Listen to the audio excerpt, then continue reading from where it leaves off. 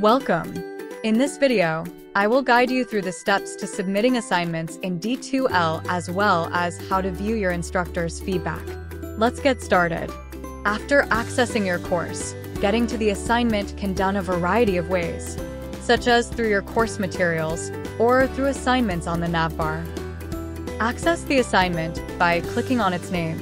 This will take you to the submission area. You can see the status, score, due date, and folder name. Click on the name for further information about what is required. Read through the instructions provided and the dates that the assignment is active. When you are ready to upload your file, click on Add a File. Upload from your computer, and click Add, and finally, click Submit. You will receive a submission confirmation page. Read through to confirm your assignment was submitted. Now, let's go check out how to read feedback on an assignment. Under grades, you can see that there was a grade received and some basic feedback.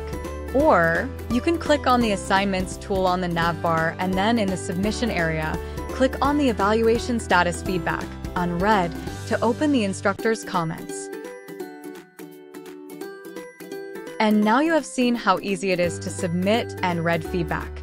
Remember that D2L support are there to assist if you have any questions. Thanks for watching.